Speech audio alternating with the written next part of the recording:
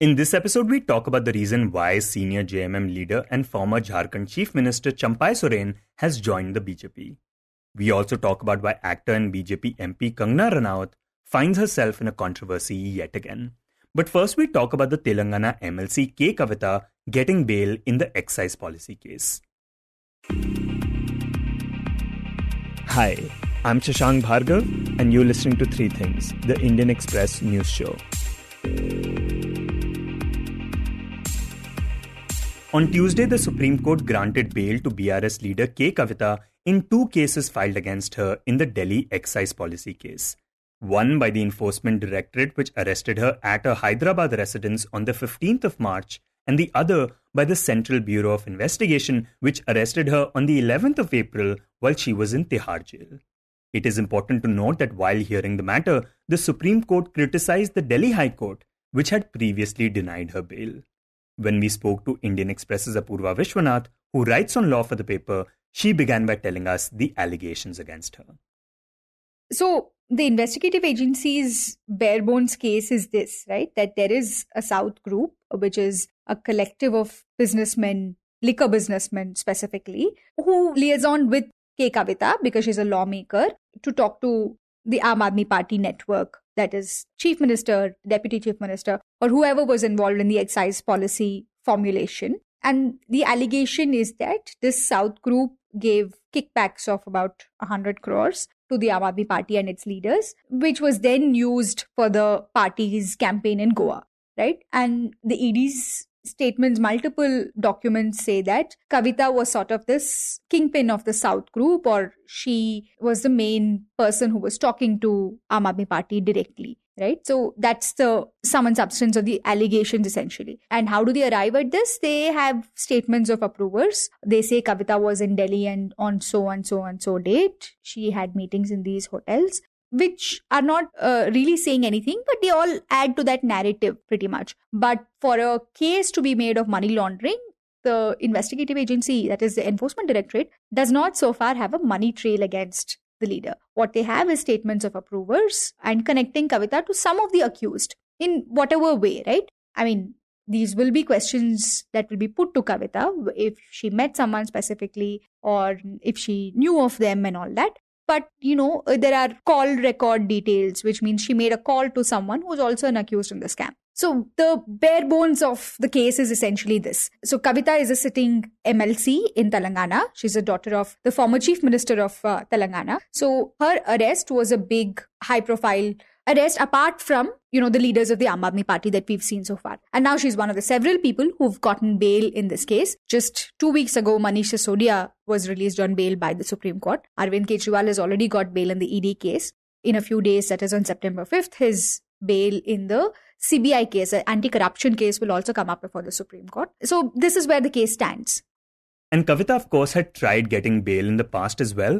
What is the reason that her bail was rejected by the High Court?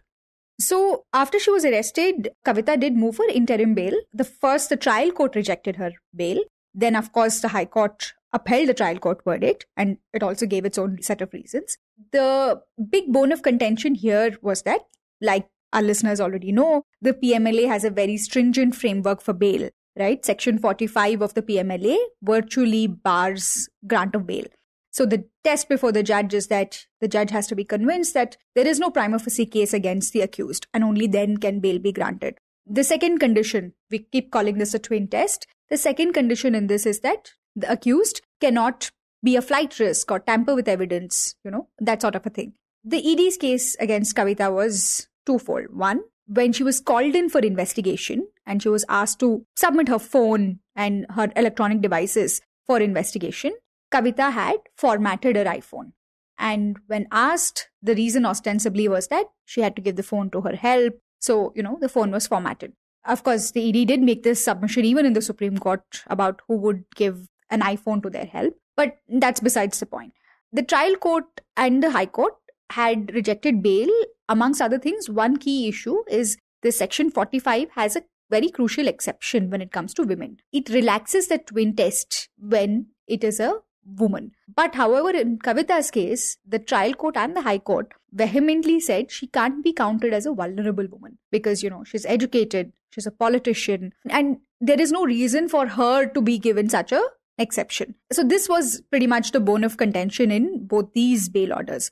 And have we seen that happen before where a woman is denied bail because of this reason, because she's educated and therefore not as vulnerable? In that sense, in Kavitha's case, the ED does make a very novel argument that she's not a vulnerable woman at all. This is a protection granted for women and children, even in ordinary criminal law. And when she was arrested, Kavitha's son, if I remember, had board exams going on. So a bunch of these reasons were made to the court. But again, the argument is that she's also a lawmaker. It's not that she will flee the country or some such thing. But the High Court, in fact, had said that she's not a household lady in the sense that, you know, this is not any woman. So even within that definition that the PMLA, stringent definition that the PMLA has, the High Court sought to make a distinction between an educated, outspoken, not a household woman versus another kind of a woman. This actually the Supreme Court picked up on and said it's a perverse reading of the law. And the Supreme Court said that can't be allowed. So that becomes one of the key grounds on which Kavitha is granted bail. Of course, the Supreme Court also asked questions of the ED's investigation completely, but this question of vulnerable woman was a key issue. Right. In fact, the Supreme Court basically said that by that rationale, no educated woman can get bail in such a case. But you know, earlier you were talking about Manish Sisodia getting bail. Now, in his case, the Supreme Court had said that he's been in jail for too long. It's been 17 months, the trial has not even started. Did the court make similar observations in this case as well? So, even in Kavitha's case, the Supreme Court does note that the trial is not likely to conclude anytime soon. However, the distinction is in Kavitha's case, the agencies themselves told the court that they have completed investigation as far as Kavitha is concerned. A charge sheet has been filed. So all that she has to do now is to sit and wait for the trial. And the court asks a question whether that is really needed, you know, that she be kept in custody for that period of time. But more than that, you know, in Sisodia's case, of course, he had spent much longer in jail, right? Kavitha has spent about five months. Sisodia has spent much longer in jail. But duration of the trial notwithstanding, the court asks, is she actually related to the scam? What is the credible evidence to keep her in custody, right? So again, going back to that section 45 bail condition, there has to be a prima facie case. Uh, so the court asks, what is a prima facie case? Right, and here the additional Solicitor General S.V. Raju told the court that Kavitha had tampered with evidence and hence should not be given bail, and which is one part of the twin test you talked about earlier that the person should not be likely to commit any offense while on bail. But the second part of granting bail is that there should be reasonable grounds for believing that the accused is not guilty of such offense. So tell us what happened when the bench pushed for an answer regarding this. So, two issues came up. One is, of course, the statements of these approvers, right? So called approvers who weren't accused earlier, but when they decide to cooperate with the agency, they give a fresh statement and incriminate the other accused in the case. That is one. Here we have a statement by Raghav Magunta. He is the son of a sitting TDP MP, Srinivasulu Reddy, incriminating Kavitha, right? The second, of course, is that S.V. Raju told the court that there are CDR, which is basically call detail records between Kavitha and the other accused. Essentially, that what that means is that there is record of Kavitha calling the other accused, right? Is that enough to make a case of conspiracy and call her the kingpin? We can't really say that, except for these approver statements, which again will be tested in court during a trial. Will these approvers remain approvers till then? You know, they will be cross examined, they will be questioned. But even those statements are circumstantial evidence. You need something else, a smoking gun here, which could be exchange of cash, which could be a money trail. None of that exists in the investigative agency's arsenal, at least at this point, which is something that the court probed and said there is no clear link between Kavitha and the alleged crime. The second aspect is, of course, the court was picking up on how the agency is allowing someone to be an approver. So here the court actually said, you know, there are some people who are incriminating as well. So why hasn't the agency made them an accused or are they being given a concession? You know, even during the bail hearings for Sisodia and Kejriwal, you know, lawyers have argued this repeatedly that the approver's statements are not the first statements that they came in and gave it to the agency. They've been changed over time. They've given multiple statements, and one of the statements incriminates somebody. That is where we are at right now. But there are other statements which don't as well. All of this is a matter of trial, but in a PMLA case, unfortunately, that it's a mini trial at the stage of bail also. So Kavitha's case is perhaps the first case in the excise policy scam where the court asks these questions to the agency. These are substantive questions poking holes in the agency's theories. So Kavitha's case was one of the first cases. But having said all of this, these were all observations in court while the hearing was happening. It gives you a sense of what the judges are thinking, but the order with qualitative reasons is yet to be put in public domain.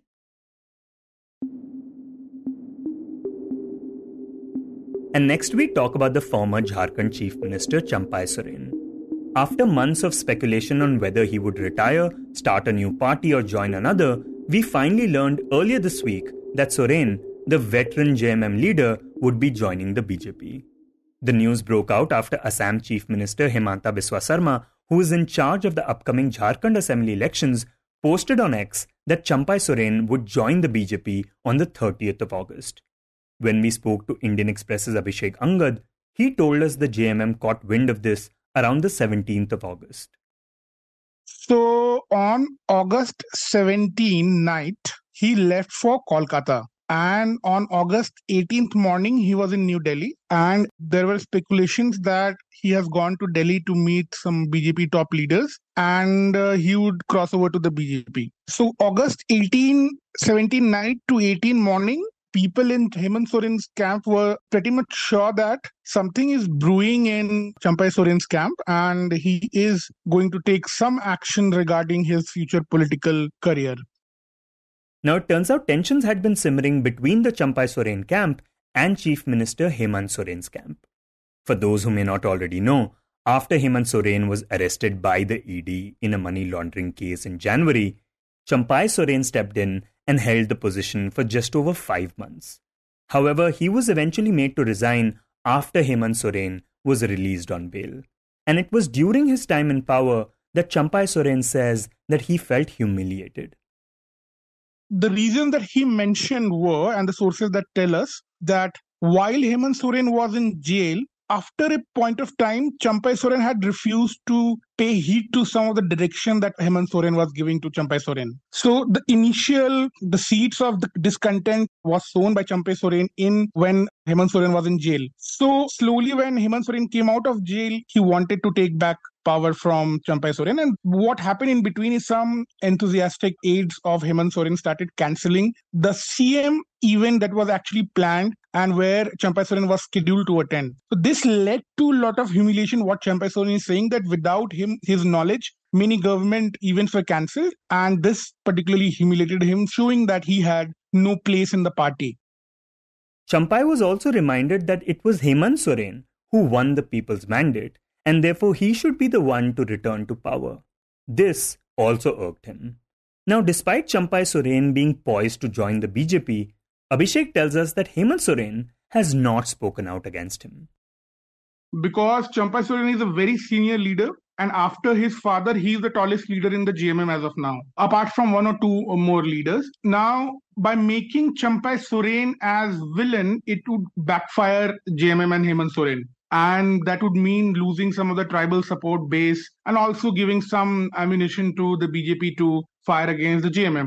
However, sources say that privately Hemant Soren always wanted to mend ways with Champai Soren, saying that ki, your job was basically to play a supervisory role when Hemant Soren was not there. So why this entire drama when the talk of power transfer came into picture? So even Hemant had gone to Champai Soren's house. I remember reporting it when Hemant was supposed to take the oath again after coming out of bail as a CM. He had gone to Champai Soren's residence asking for what the issue was and whether or not uh, this can be sorted out. But initially, Champai Soren had refused to meet, but later he met and eventually he also came to Raj Bhavan, the governor's house, for the oath taking ceremony. But Hemant Soren did want to ease out the situation, but it did not happen. Or the sources say that somebody very close aides of Champai Soren also did not want a very uh, smooth relationship to exist between Hemant Soren and Champai Soren once he was asked to resign. He says with the assembly elections just four months away, the party is now somewhat concerned, particularly regarding the Kolhan region of the state.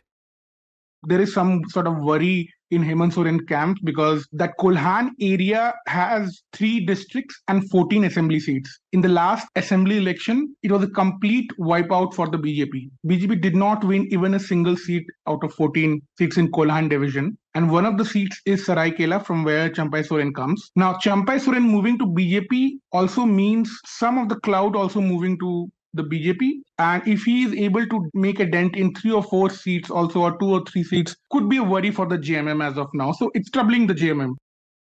He says that Champai Soren is set to join the BJP at a time when the party has been struggling in seats reserved for the tribal community in the state in the 28 seats that is reserved for the tribal community in Jharkhand, the BJP in the last election won only two seats. And that's the 28 seat which can actually swing the election in somebody's favor, in some party's favor. So BJP performed very poorly in the Lok Sabha elections in the tribal reserve seats. In the five tribal reserve seats, the BJP did not win even a single seat in Jharkhand. On the contrary, in Chhattisgarh and Madhya Pradesh, it BJP had done very well in the tribal seats. So tribal community in Jharkhand is little seems that little angry with the BJP due to various factor. One factor being that the jailing of Hemant Soren and sort of narrative has been built that it was mainly due to the excess that the BJP committed or the central agencies committed. So now Hemanta's plan is to win at least 10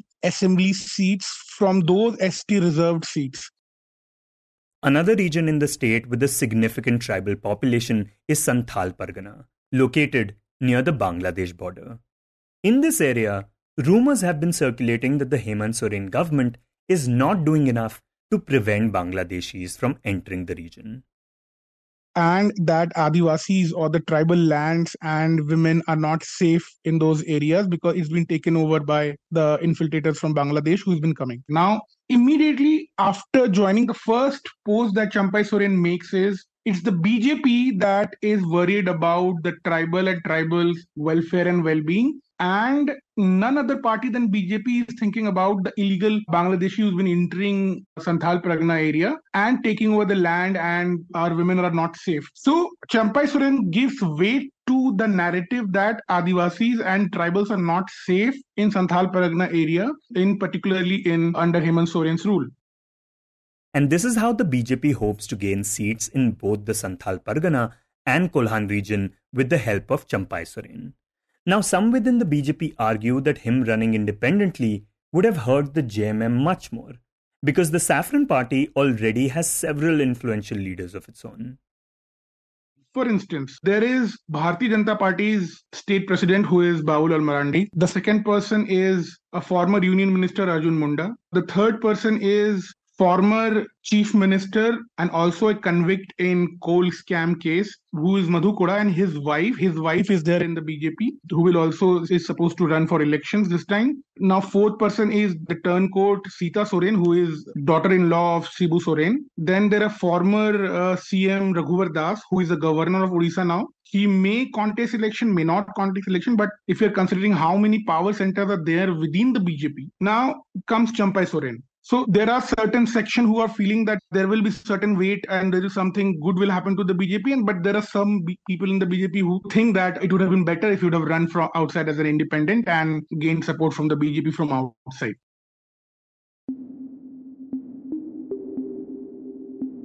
And in the end, we talk about actor and BJP MP from Mandi, Kangana Ranaut, who is once again embroiled in controversy. Just over a month before the Haryana elections, Kangana made comments about the 2020 farmers' protests during an interview with a media outlet. When we spoke to Indian Express's Vikas Pathak, he told us about it.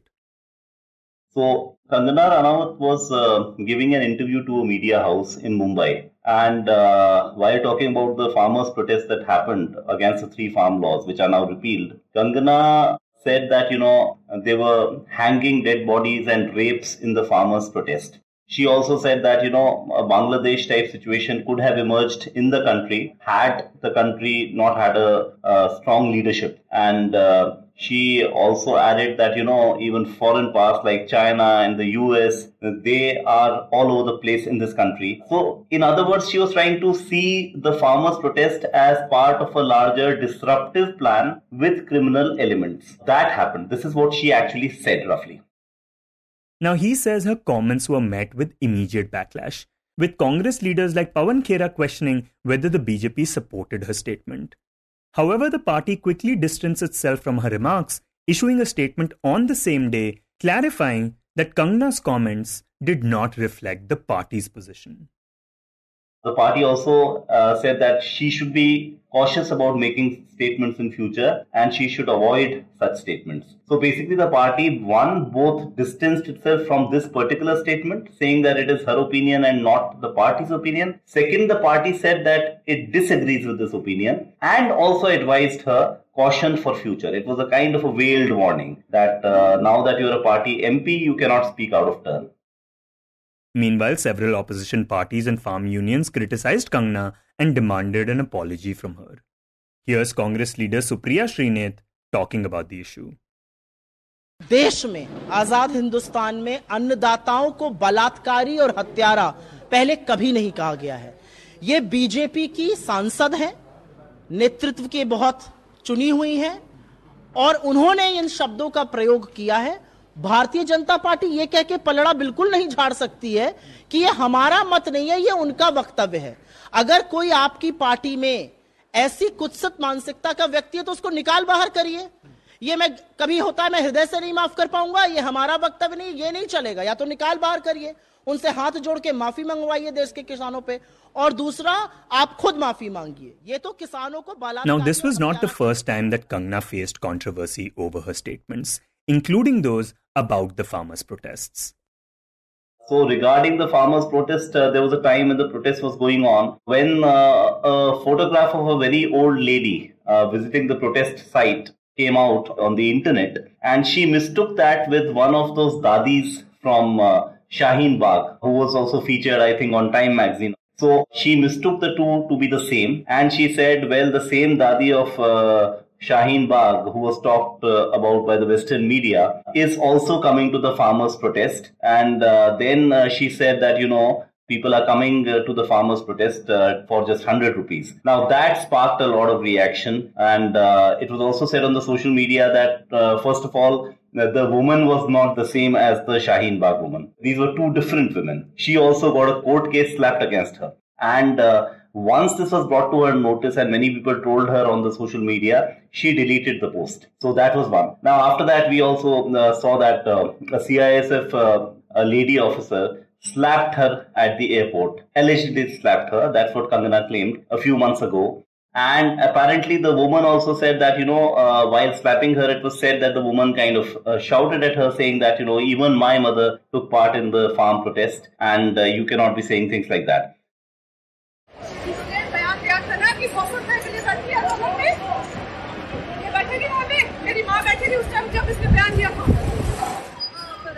This is just related to the farmers' movement. That apart, she has made many statements that have baffled people. Like uh, once uh, she said that uh, the first Prime Minister of India was uh, Subhash Chandra Bose. She also once said that uh, the freedom we attained in 1947 was bheek mein hui. It was something that we got out of begging. And she added that the real freedom came in 2014, apparently a reference to the year when Narendra Modi became Prime Minister of India and the BJP came to power with a full majority.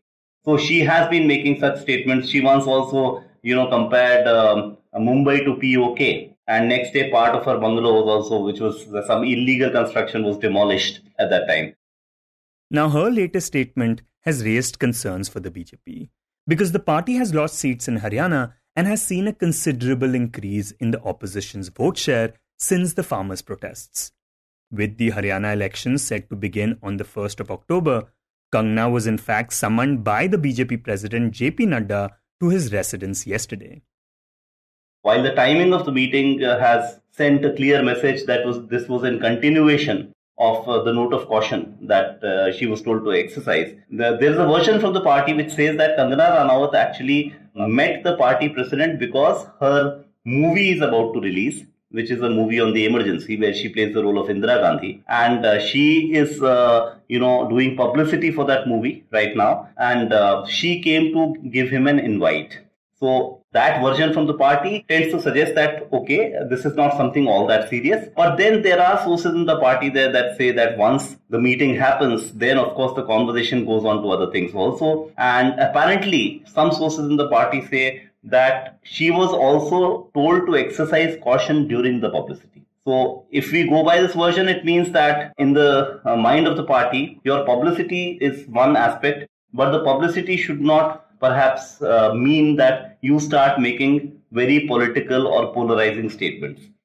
Vikas, usually BJP leaders are very tight lipped and they basically toe the party line when it comes to issuing statements. Now, in such cases, when someone sort of speaks out of line.